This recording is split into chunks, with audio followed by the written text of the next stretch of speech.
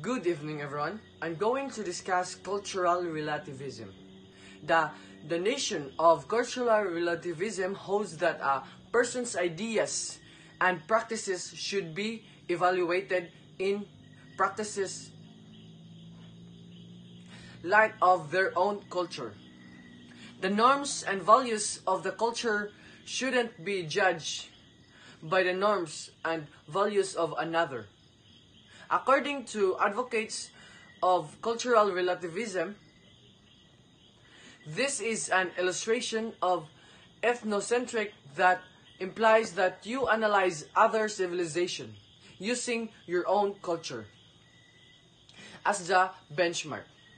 You are passing judgment on or assuming certain things. I will give three advantage and disadvantage of cultural relativism. First, the advantage. It is a system which promotes cooperation. Next is it creates a society where equality is possible. Next is people can pursue a genuine interest. Last is respect in is encouraged. Next is disadvantage. The disadvantage is creates a system that is fueled by person personal biases.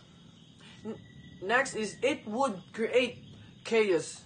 And the last one of disadvantage is an idea that is based on the perfection of human.